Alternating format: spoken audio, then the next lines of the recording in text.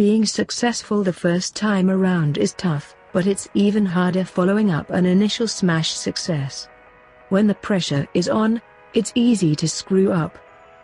It may be hard to imagine, but over the past 40 years, there have been four generational changes to the Mustang, not all of them good, five Jeep Wranglers, if we count the CJ, which you should, and five Chevrolet Corvettes. But there's only been one Mercedes-Benz G-Wagon. Known colloquially as the G-Wagon, and officially as the G-Class, the Bundeswehr-ready SUV was originally released in 1979 for military and civilian buyers alike.